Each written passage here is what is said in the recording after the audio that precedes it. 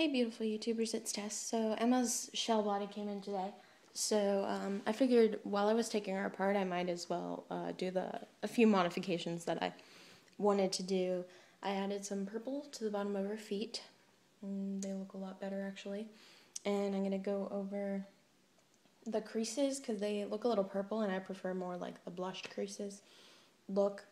And I think I got a little lazy towards the last couple layers, which I do the creases in the last couple layers. So I'm going to redo that.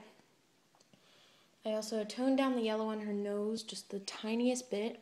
And I think I might have gotten some of my glazing gel on her chin and possibly on her cheeks when I, or that or I got it in my paint because she's looking a little shiny in the face. So I'm going to do a textured matte varnish after that. And that's just going to be clear. I don't want to change her coloring at all. But yeah, so I'm modifying her. And I also have a huge haul. Um, some stuff from Tiny Tots Treasures, just mostly just this blanket, which is adorable. And then a bunch of things for, a few things for Emma, and quite a few things for the customer who ordered the custom Tracy because she paid the extra 25 for extra outfits.